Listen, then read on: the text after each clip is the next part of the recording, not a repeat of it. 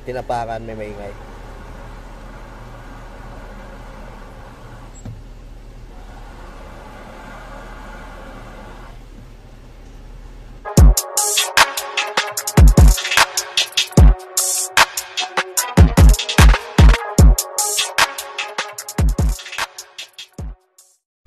Ayan, magandang araw. Meron kami ritong Avanza.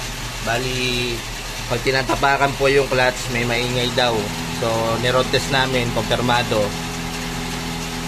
Tsaka, slide na rin yung clutch. Pagka ganito yung problema, release bearing to. So, di pa namin nababaklas. So, tapak, tapak ngawi. Tapak clutch. Ayan, ganyan mo kaingay. Bitaw. Tapak. Kaya pag tinatapakan po yung clutch, tapos pag binibitawan, nawawala. Bitaw!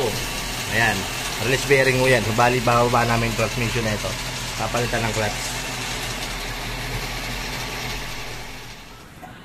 So, ito na ho, nabaklas na namin. Ito yung lining ni sir. Ayan. Kasi wala na rin hatak. Ito, durog na.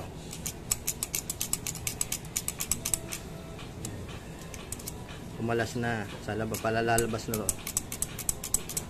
Ito naman yung clutch disc. Ang problema nito, hindi kayo nakatapak maingay. Pag tinatapakan, nawawala naman. Tapos, pag ito napudpud na, yung lining niyan, mawawala ng hatak. So, kanina ni test ko, mahina na rin humatak eh. Kaya ganyan na yung sitwasyon ng clutch disc.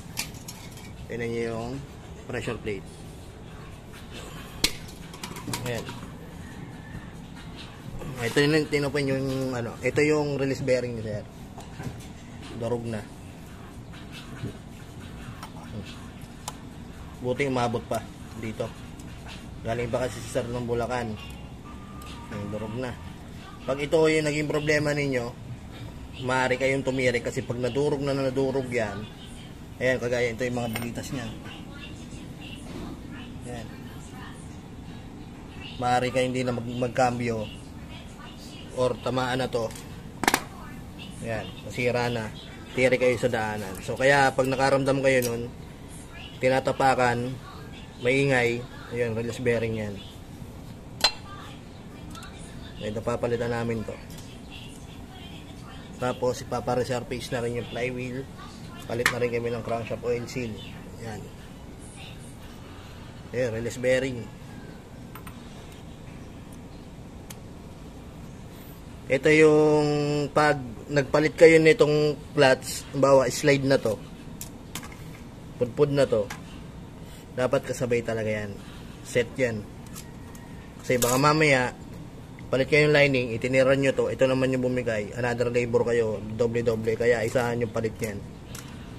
Ayun. Release bearing nyo, ayun, ulitin ko, pagka tumap, pag tumapa kayo ng